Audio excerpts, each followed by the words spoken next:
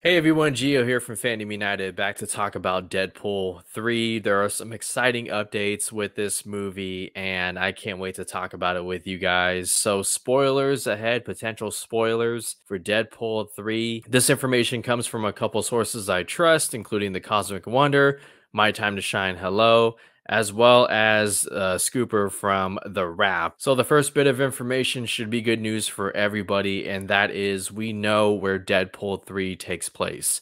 It will be the last movie in phase five.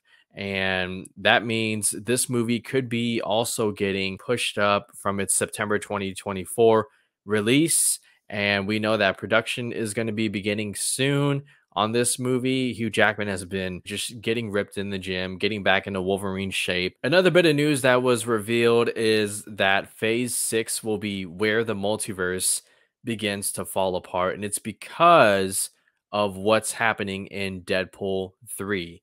The reports are saying that Deadpool is going to be using his time travel device that he used in a previous movie to go to different timelines, universes, and pull characters out of that universe. Two characters in particular that are mentioned Sir Patrick Stewart's Charles Xavier and Sir Ian McKellen's Magneto. Those two will be returning and making their, well, Charles Xavier already made his debut in the MCU, I guess a variant in Multiverse of Madness. And the reports are saying they're not going to be a part of just Deadpool 3, but also Secret Wars. And that makes all the sense given the story you're going to be seeing a lot of characters from the Fox universe, probably characters like Wesley Snipes' Blade making a return, and um, you know the Fantastic Four, all that characters coming together to fight all these variants of Kang that we saw in the Council of Kangs in a post-credits scene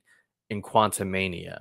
Furthermore, we've heard from one of the actors themselves, Sir Patrick Stewart, talk about this, and it was more of a tease when he said we're not done. Sir Ian and myself, we've got plans. Now, on one hand, I'm very excited to see these two OGs interact with Deadpool, a character like Deadpool. I mean, that's just talk about throwing an underhand pitch for just comedic gold right there. I can't wait to see those interactions. On the other hand, I am just not as hyped up in regards to Professor X's return. Okay, I feel like it should be a bigger deal, but unfortunately, we did see the character in Multiverse of Madness get killed off.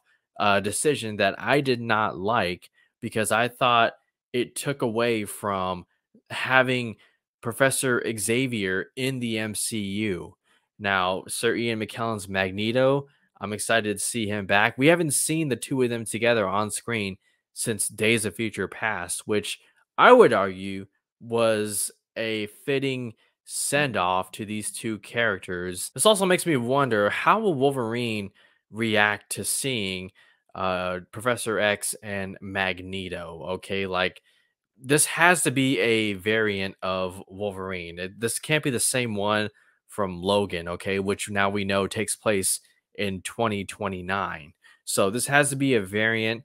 It's probably going to butt heads with Magneto okay. But again, I don't think it'll be the same. Uh, Magneto, again, Deadpool is pulling from multiple universes. It'll be very interesting to see how this all plays out. Expect Deadpool 3 to be released a little bit sooner.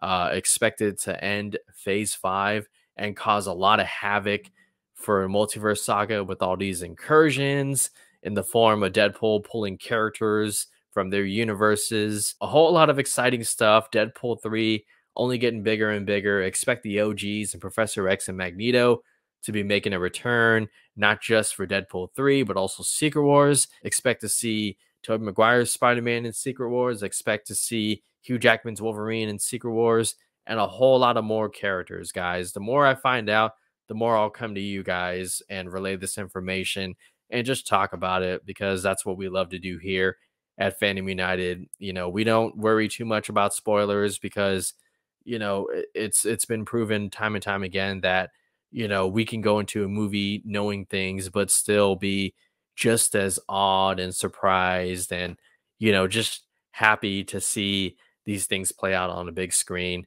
we're seeing it with The Last of Us, and everyone who played the video game still love it. And so here we talk about rumors and all this good stuff. And that's going to do it. My name is Gio from Fandom United. Thank you so much for joining me in this video. Until the next video, you guys take care.